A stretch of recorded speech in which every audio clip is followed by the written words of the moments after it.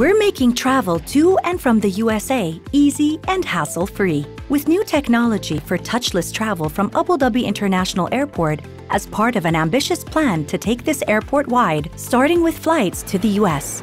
Biometric facial scanners provide a seamless, quicker boarding experience to the US. Here's how it works. At the boarding gate, a biometric scanner will scan your facial features. To board, you won't need to show your passport or boarding pass. When you see the green light, you're all set. No passport, no boarding pass, no fuss with touchless boarding. Also available when you're flying from JFK International Airport. In the future, Abu Dhabi airports will roll out biometric scanning across the airport from check-in to boarding for a seamless travel experience. Don't forget, you can also clear US immigration before you fly so you don't have to queue when you arrive in the US. Find out more about the only U.S. pre clearance facility in the Middle East online.